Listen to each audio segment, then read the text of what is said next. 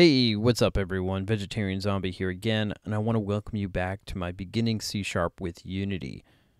In this video, we're going to be covering variables, but before we dive into that, I'm going to quickly review the task I gave you in the last video. And to do that, I'm going to switch back over to the hello world script.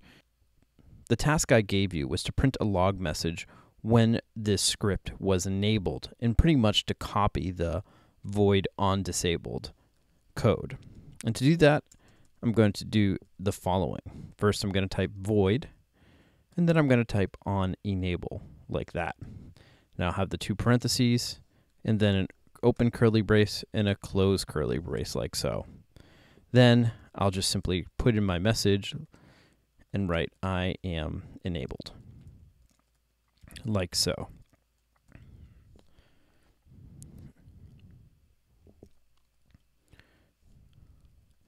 Now I'll save, and I'm going to switch back to Unity. Here, let's run this. You'll notice that in the log it says I am enabled. This is because when you run your game, every component that is enabled will then call that event, which means this code will run when your game starts. Now, when we disable the script, and let's find the script, I believe I attached it to a cube. And now I'll just uncheck this to disable it. You can see hello world. And now when I re-enable it again, you can see the message play is written out to the console one more time. Okay, on to business. In this video, we're going to be covering variables. Variables in C Sharp work pretty much the way you would expect them to.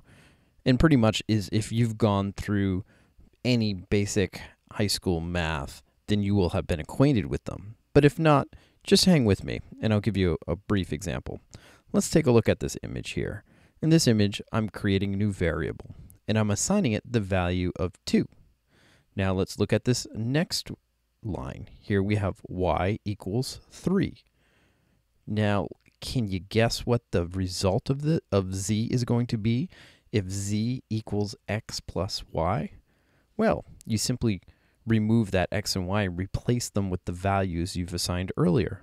So this would read z equals 2 plus 3, which would in fact equal 5. And that's how we use it in C Sharp. A variable is a way that we create a name and we assign data to it. And then when we work with that that name, we're using that name almost as a metaphor for that data. So the question is, how do we create variables in C Sharp? And actually, it's very easy. First, you provide a type of that variable, and next, you provide the name of that variable. You can optionally assign a value to it, and that's what we'll be doing.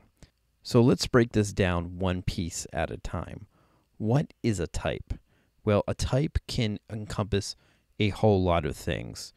In fact, I'm going to be doing a video just on types, and it will explore all the various different C sharp types that are available to you. But in the broad sense, a type is just what that variable represents. For instance, we could use a number, for uh, such as how old is this thing? We could use a whole number. We can also use a decimal number. That is another type. We can use text, for instance, as a sentence, or we could even use Boolean values such as true and false. Again, C Sharp supports a whole lot of types, and you can even create your own types. But for now, we're just going to focus on two types, numbers and text. I'll start with text first. And here, I'm going to return back to my editor, and I'm going to create a new variable right underneath this opening brace. In C Sharp, it does matter where you declare your variables, and we'll be exploring this later in this series. But for now, just put your variables just underneath this opening public class and so forth. All right, the first thing we're going to work with is text. And text is kind of strangely worded in C Sharp. We can think of text as a series of characters, which are letters, but they don't they're not necessarily letters. They could be punctuation marks or uh, ASCII art or anything like that. So we can think of them as a series of characters. And in C sharp, we think of this as a string. I'm not too sure how it came about to be called a string, but that's exactly what we call that's what exactly the type is called. So here we're going to create a new variable and we're going to call we're going to identify this as a string. So we type in string like so. You'll notice that the string is a different kind of color. It's a light blue, and this is because this is known as a keyword. And we'll be covering keywords throughout this series, but that's what this indicates. Okay, we've defined the type that we're going to use. Now we have to define a name. In this in this example, we're going to create names of video games. So what I'll use is a variable called game name. And look at how I write this. I'm going to put lowercase g and then I'll write game and then an uppercase n and then I'll write name. That looks kind of funky. You may want to do something like this, or you would probably want to do something like this. you can see uh, MonoDevelop doesn't exactly like that in when declaring your variable names, they have to be one one name, meaning you can't have empty spaces breaking this up. This would confuse the compiler. So we have to we have to combine them like that. So why did I put a lowercase name like this? Why not just make this all lowercase?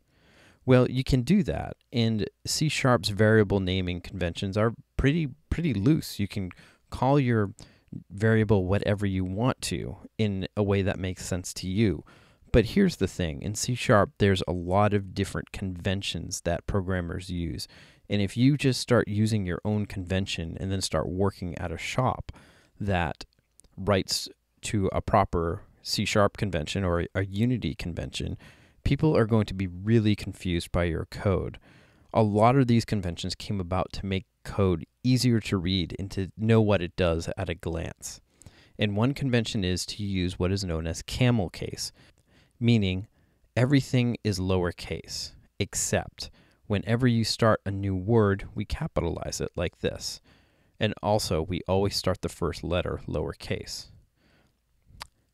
Here's another example. If I wanted to say the game name is, I would type the, and then I would put game, capital G, name is, like so. And you can see, even though scrunched together, you can still make out the words. You can also use underscores, but again, this is really not standard, and people would uh, raise an eyebrow at you if you did something like this. For the purposes of the series, just use camel case, and I will note when you should use a capital first letter because that is very important. A few other notes about variable naming. Here we have game name. If I wanted to create another variable, say such as this, this is actually valid. These are two different variables. The compiler doesn't the compiler sees them as different because their capitalization is different. So keep that in mind. Also, I mentioned that there's things such as keywords.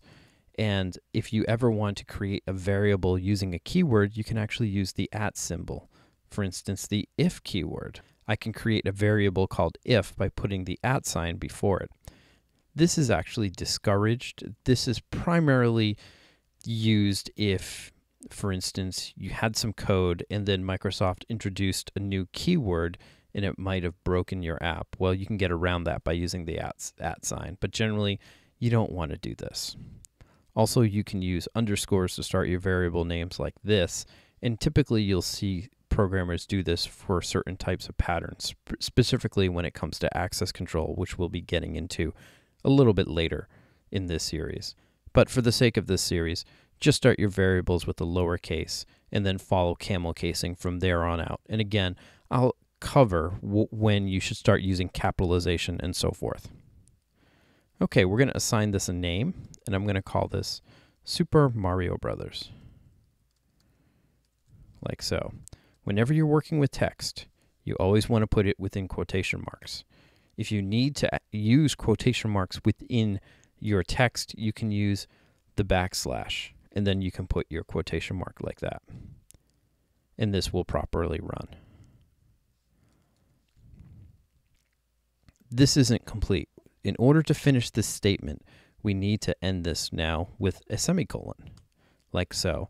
That indicates that your that statement is done. To the compiler, this would be a sentence, and by adding a semicolon, you're basically adding a period to the end of that sentence.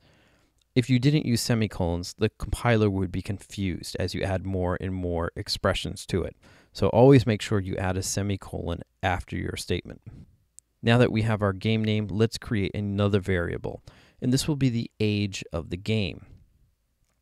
To reflect this age, we're going to use a whole number. And this number is also known as an integer. And there's a certain range of values we can use for an integer, and I'll be covering that in the video I do on types. But for now, you don't have to worry about any of that. Okay, what do we use to indicate an integer? We use keyword int, like so. And now I'm going to give it the variable name age. Again, I'm going to start lowercase like that. And equals 30. Notice that there's no quotation marks. This indicates a number or a value. And now we have two variables. Variables aren't really useful unless you can actually use them. So we're going to do that right now. And the first thing I'm going to do is I'm going to delete this on enable for now. Now I'm going to print out a sentence using both of these variables. And I'm going to do this in my log statement. First, I'm going to write a I'm going to start the sentence with the game. And now I'm going to add a space and then I'm going to hit the plus sign. The plus sign is an operator and it can be used in different ways depending on what variables you're using. And we'll be covering operators in another video. But for now, you can know what we're doing is we're taking the name of the game, and we'll type game name, and we're literally adding it to this other string over here. So this would read the game, and then the plus sign adds Super Mario Brothers.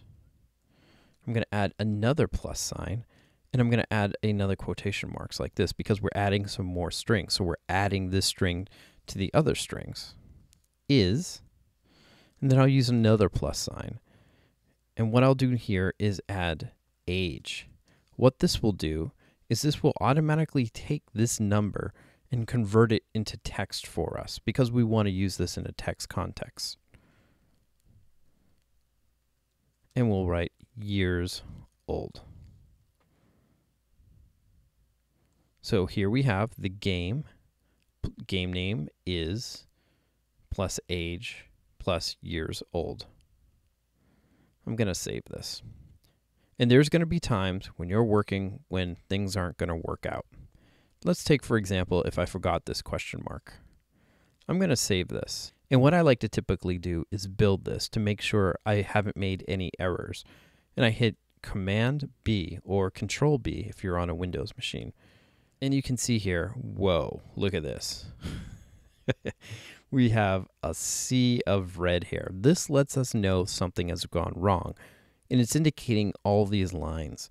Well, typically, what you can do is you start with the first error that you're seeing and then move back a line.